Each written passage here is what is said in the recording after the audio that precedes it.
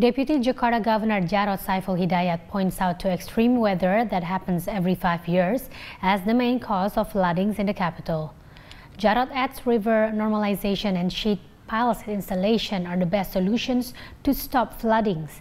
Citizens are urged to register their land so they could later get proper compensation if the property is included in river normalization. Djarot includes the latest data from National Disaster Mitigation Agency into evaluation where at least 54 locations in Jakarta are inundated and flood level has reached 1.5 meters.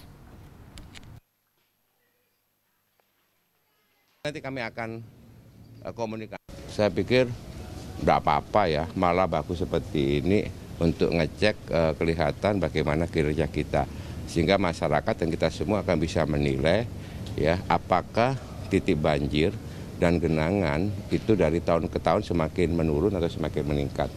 Kalau hasil evaluasi kami, eh, titik banjir itu semakin berkurang drastis ya, termasuk lamanya air eh, yang masuk ke rumah warga dan debit air yang masuk ya. Jadi eh, sudah ada penurunan.